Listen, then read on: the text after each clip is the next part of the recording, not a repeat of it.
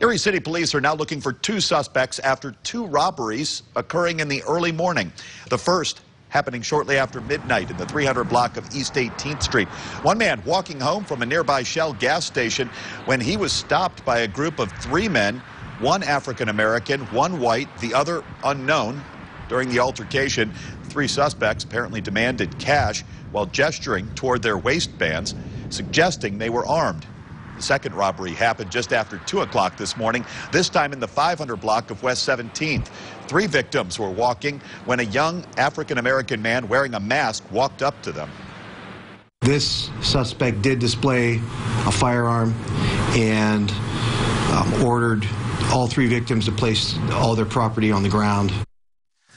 The suspect in that case made off with cash and two cell phones. Nolan says there is no indication that the crimes are connected.